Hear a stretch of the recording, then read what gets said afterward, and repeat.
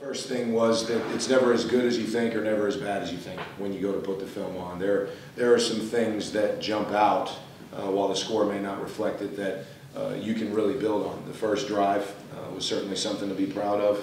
Uh, kind of like I said when we talked after the game, Brian, um, when we found ourselves again there in the fourth quarter, we're, we're, finding ourselves and what are we best at? And varied tempos, varied positions, spreading the ball around. When we do that, we can be a powerful offense. And, and we proved that to ourselves on Saturday. Uh, we, we got a little behind uh, the chains and, and got into, you know, three passes and, and come out. We dropped some opportunities during that stretch of three and outs uh, that if we make a catch here or there, then those drives continue. So there's a lot to build on.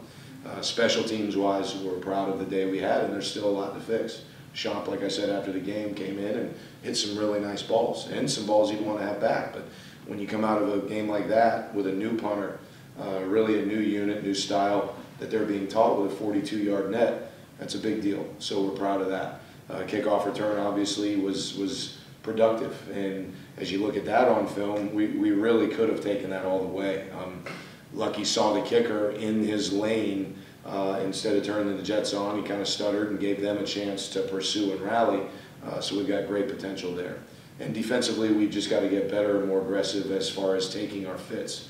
Uh, there's really, at the end of the day, to simplify it, we had some kids trying to do too much.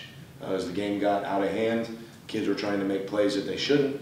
Uh, and that tends to be a human reaction when we just have to have faith and have each guy do their job, fit their fit, and we're going to be fine. So uh, it was it was more positive than I would have anticipated when I got on the plane.